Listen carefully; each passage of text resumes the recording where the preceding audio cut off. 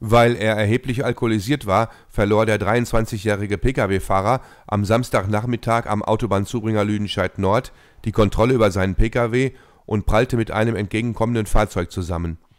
Gegen 15:21 Uhr war es auf der L 692 zu der Kollision gekommen, nachdem der Fahrer aus Engelskirchen die Autobahn verlassen hatte und in Richtung Höllscheider Baum gefahren war.